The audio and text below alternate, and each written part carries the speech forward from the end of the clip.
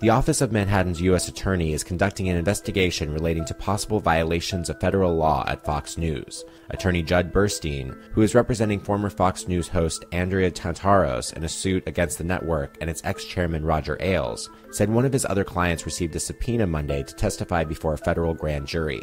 The subpoena noted alleged violations of criminal law by Fox.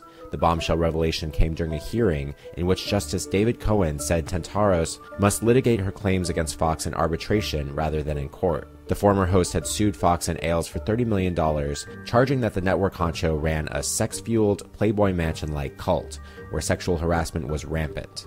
Tantaros, who joined Fox's The Five in 2011, said Ailes began harassing her in August 2014 when he allegedly asked her to twirl during a private meeting in his office so she could show off her figure. He also interrogated her about her personal life and made off color jokes about getting married.